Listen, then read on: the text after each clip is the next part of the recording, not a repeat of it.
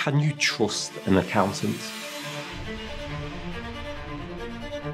Isn't accounting just numbers? What happens if there's fraud and corruption within a company?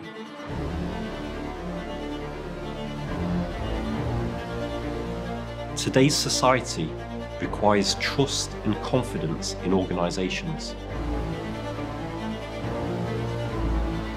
What role does ethics play in accounting? What can accounting do to help the climate crisis?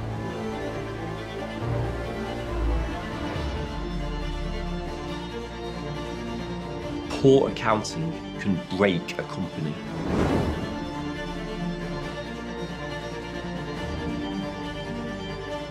Accountants are essential in combating fraud, bribery, and corruption.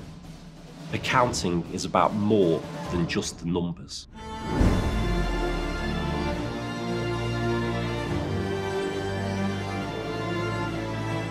Accountants hold positions of great responsibility. I'm David Thompson, and this is your Subject Spotlight. Now streaming only on SpringPod.